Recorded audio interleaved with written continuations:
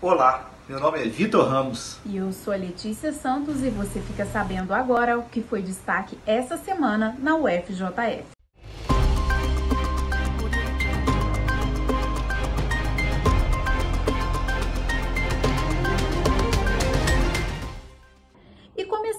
Boletim de notícias dessa semana destacando o adiamento do módulo 1 do PISM 2021. As provas estavam previstas para o dia 24 e 25 de abril.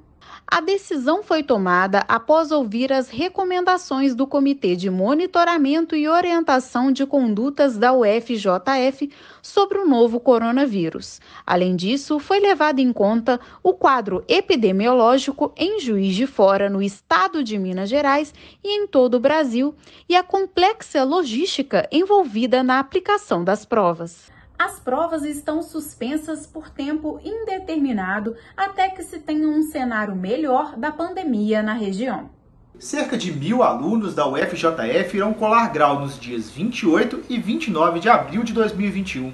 Serão seis cerimônias online, reunindo os dois campi, às 14, 16 e 18 horas em cada dia. Os formandos são do segundo semestre de 2020 e foram inscritos para colação de grau pelos coordenadores de curso. As informações sobre como será a participação na cerimônia, a plataforma a ser utilizada e o link de acesso ainda serão divulgadas aos formandos. Os representantes de turma serão convidados para uma reunião online e todos serão informados sobre os procedimentos por e-mail. A transmissão ao vivo poderá ser acompanhada pelo público no canal da UFJF no YouTube. Você encontra mais informações sobre a colação em matéria publicada no nosso portal de notícias. E agora eu chamo a jornalista Gabriela Moura, que traz o destaque de Governador Valadares. Olá, Gabriela! Oi, Letícia! Nesta semana, a gente destaca uma ação de solidariedade do campus Governador Valadares. É que o projeto Solidariedade em Ação está levantando demanda de instituições filantrópicas da cidade para recebimento de máscaras de tecido a previsão é de que sejam doadas 8 mil máscaras, que estão sendo produzidas com recursos do Ministério Público. E essa não é a primeira ação do grupo. Em 2020, foram doadas 6 mil máscaras de tecido para comunidades indígenas e instituições da cidade. Segundo a coordenadora desta ação, professora Shirley Policário, a intenção é conhecer a demanda das instituições da cidade e organizar a entrega de novas máscaras de tecido. Então fique atento. Se você conhece alguma instituição que esteja em situação de vulnerabilidade social e econômica em Governador Valadares, indique que um representante desta instituição preencha o formulário que está disponível no nosso portal. Acesse o fjf.br/gv. Até mais. Obrigada pelas informações, Gabriela. E o próximo destaque vai para um estudo que está sendo feito por pesquisadores da UFJF sobre um medicamento que trata as complicações da Covid-19. O composto Remdesivir foi produzido pelo Grupo de Pesquisas em Metodologias Sintéticas do Departamento de Química do ICE. O estudo foi publicado no jornal of the Brazilian Chemical Society. Para saber mais sobre essa pesquisa, é só acessar o nosso portal de notícias e conferir a matéria completa. E continuamos falando de Covid-19, dessa vez destacando a 24ª edição do Boletim Informativo da plataforma JF Salvando Todos.